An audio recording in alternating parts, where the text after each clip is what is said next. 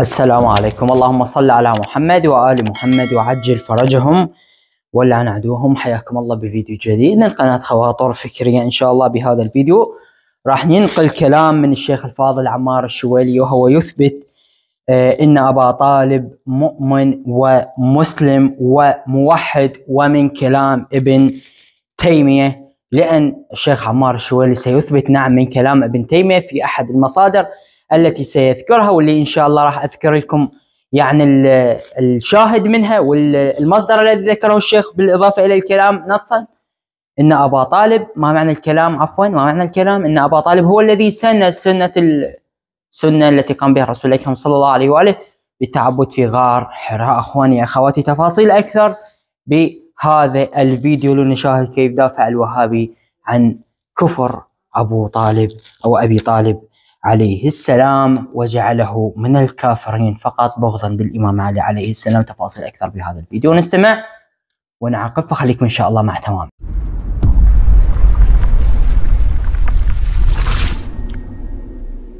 تسمحون لي مداخلة سماحة الشيخ لو تكملون حديثكم. إي تفضل تفضل جناب الشيخ تفضل عندي عندنا هواية اسئلة عندي تفضل تفضل. الله يسلمك ويوفقك، أنا أحب أسأل الأخ أبو عمر يسمح لي لو ما يسمح لي.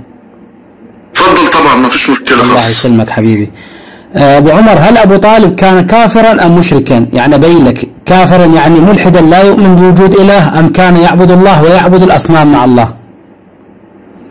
لا كان يعبد الأصنام كان مشركا يعني وهل هذا يسعفه؟ يعني لو هو يؤمن بالله سبحانه وتعالى.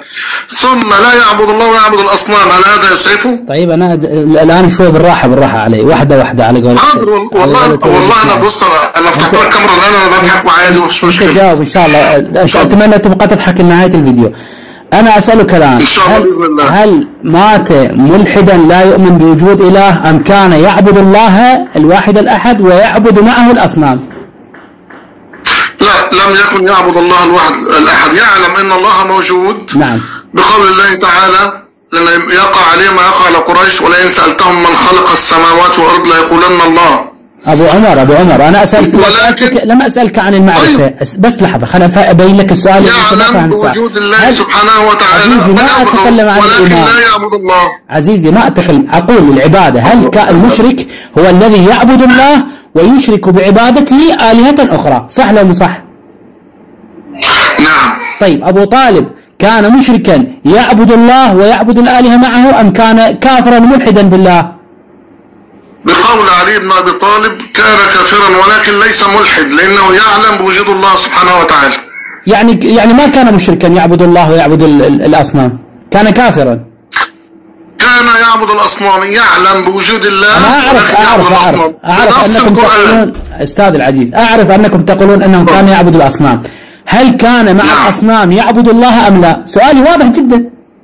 كان لا يعبد الله يعبد الأصنام فقط. أحسنت. جزاك الله خير إذا كيف تقولون بأن أبا طالب هو الذي سن سنة الصعود إلى غار حراء للتعبد فيه ثم تبعه النبي في ذلك من الذي قال ذلك؟ قالها ابن تيمية. قال ابن تيمية؟ نعم. فين فين قول ابن تيمية؟ كتاب تفسير آيات أشكلت على كثير من العلماء. المجلد الأول صفحة 228 يقول وكانوا يتعبدون بالطواف والحج وكان هو يتعبد بذلك. يعني النبي وكان أبو طالب قد سن لهم الصعود إلى غار حراء للتعبد فيه وكا وكان النبي قبل النبوة يتعبد فيه وفيه أنزل عليه الوحي. لحظة لحظة. كما هو في الصحيحين من حديث عائشة. يلا. نعم نعم. نعلم جميعا أن النبي صلى الله عليه وسلم كان يتعبد في غار أنا ما أتكلم عن النبي. لا لا. أتكلم عن أبي طالب. كيف سن؟ كيف سن؟ ولكن هو بس لحظة لحظة هل أبو طالب الذي سن له ذلك هذا نشوف. ابن تيمية يقول مو أنا. يعني علي بن أبي طالب كذب لما قال للنبي يا عزيزي وما طيب طيب اسمع اسمع اسمع نناقش كل دليل على حده أنت الآن أجبني من كتبك. طيب الآن؟ اسمعني بس أكمل سؤالي لحظة. أنت قلت بأن أبا طالب كان كافرا.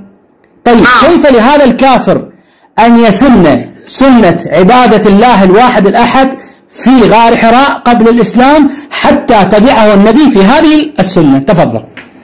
اولا لم يثبت ذلك أن ابا طالب هو الذي سن. ما أنا ما قلت. آه. ابن تيمية قال. طيب ماشي أنا أراجع قول ابن تيمية. يلا الآن راجع يلا. الآن. ادخل على الجوجل لا تنهي الحوار. يلا. الآن لا لا أنا مش هراجعه الآن. الآن. متى اسلم ابا طالب؟ ما اللي دخل لا لا هذا إلزام. تجاوب على الإلزام. لا لا لا هذا إلزام. إلزام. هذا مدمر متى اسلم ابا طالب؟ ما لي دخل روح رد؟ على ابن تيميه الآن أنت ترمي لا، لا، متى اسمع أسلم اسمع أبا طالب؟ اسمع اسمع. اسمع. الأصح أن تقول متى اسلم أبو طالب لأن أبو اسمع اسمع. متى اسلم ابا طالب؟ اسمعني. اولا باللغة العربية يقال متى أسلم أبو طالب لأن أبو فاعل مو أبا طالب. هاي اولا. ثانيا أنت الآن رميت دينك بمقتل ورميت شيخك ابن تيمية بمقتل حيث نسبت له الجهل. ابن تيمية يقول أن الذي سن لهم الصعود إلى الغار هو أبو طالب. أنت الآن ردنا على هذا الإلزام. إذا رديت هذا الإلزام انتهى الأمر. وثبت كفر أبي طالب. رد هذا الإلزام وبعد ذلك انتقل إلى سؤال يعني أنت تفضل. الان انت عندك إجابة متى أسلم أبا طالب؟ كما اخوانك أبو طالب هاي مرتين الذي عيد في البث جميعا ما عندهم إجابة على هسه الايه إحنا ما عندنا جواب ما يخالف. ما يخالف. ما يخالف نتنزل يا. أبو عمر. هدي بس أنا بسمعك والله. لحظة لحظة أبو عمر. أبو عمر. اسمعني اسمعني. اسمع يا أنت هدي. السؤال ال- المبادرة إلي وأنت ضيف صاعد عندي. أنت الآن ما عليك بينا لا لا لا عندنا انت اسمعني يا حبيبي أنت اسمعني. صعدت متاخرا. طيب عبالك. السؤال كان عندي. كلنا- لم يستطع أحد من أخوان. المسلمين أن يجيب عليه. طيب. أنت الآن اصعد آه طبعا عفوا اذهب وأتنا بقول ابن تيمية ورد على قول ابن تيمية وبعد ذلك نعيدك بأن ننتقل إلى السؤال الآخر. إما أن تقول أن ابن تيمية كان اسمع إما أن تقول أن ابن تيمية كان كاذبا أو جاهلا واضح؟ أو مشتبها. تفضل. شيخ عمار شيخ عمار ممكن سؤال؟ طيب. بس لحظة؟ هدي بس لحظة، حد- هدي يا حاج عشان انت متعصب هو حاليا حاليا عنده مكتبة مكتبة موجودة عنده موجودة الكتب كلها. هو يقول أنا عندي مكتبة كل الكتب عندي. لا ما يحتاج. يدخل إلى جوجل يكتب ك- كتاب لا آيات. أنا عندي اسمع. عندي الكتب بفضل الله تعالى لا ما عندي هذا الكتاب ما عندك. هذا الكتاب. ولكن هذا عندك الكتاب؟ لا لا. لا ما عنديش الكتاب بس طيب. أنا عندي أد- عندي كتب كثيرة. أدخل إلى الجوجل ولكن- الآن. يا عزيزي أفتح لك كاميرا تشوف الكتاب. بالله. أفتح لك كاميرا تشوف الكتاب. تفضل وياي الان كبر كبر يا الان الآن. يا أبو لا ما كراس. تفتحش لح- كاميرا. لحظة مو كاميرا هذا مو بكيفك هذا أمر مو بكيفك يا عزيزي. امال بكيف مين؟ ردوا على الأسئلة الأول أنا بسألها. هاي صاحب وصلت إخواني هذا كتاب تفسير آيات أشكلت على كثير من العلماء تأليف أحمد بن عبد الحليم بن عبد السلام ابن تيمية يا جزء المجلد الأول طيب فين الآية؟ فين الآية؟ صفحة 228 يقول وكانوا يتعبدون بالطواف والحج وكان هو يتعبد بذلك يعني النبي وكان أبو طالب قد سن لهم الصعود إلى غار حراء للتعبد فيه وكان النبي قبل النبوة يتعبد فيه وفيه أن- أنزل. وفيه أنزل عليه الوحي كما هو في الصحيحين من حديث عائشة. يلا هذا أمامك الآن. تفضل. طب يلا طب يلا يلا تفضل. رد يلا. الآن ما اسم أبو طالب الحقيقي؟ شنو؟ إذا ما تجاوب على الالزام ما نجاوبك على السؤال؟ ما له دخل. ابو طالب الحقيقي. شنو دخل الاسم بالكفر والإيمان؟ لا، لا، طيب. دخل لا، ما يخالف ما يخالف. لما تعرف اسم ابو طيب طيب أنا أجاوبك الآن. أنا أنا. أنا جاي جاي. أنا أنا أفهم الان إذا كان مؤمنا اسمع. ام أم كان كافرا. طيب طيب أنا ما أجاوبك اسم الآن. ابو طالب الحقيقي؟ طيب أنا الآن لو فرضا أبوي سماني عبد الشيطان شنو دخلي أنا بالموضوع؟ ولا تزر وازرة وزر أخرى. لو كان اسمه عبد طيب، الرسول مناف صلى الله اسمع. عليه وسلم. اسمع اسمع. أنت سالت اسمع أنا الجواب فهمت قصدك. اسمع الجواب قصدك والله. اسمع الجواب يا عزيزي تفضل. لا تخل... لا خليهم يكتمونك اسمع تفضل تفضل. الآن كما ما تقولون أبا ما طالب.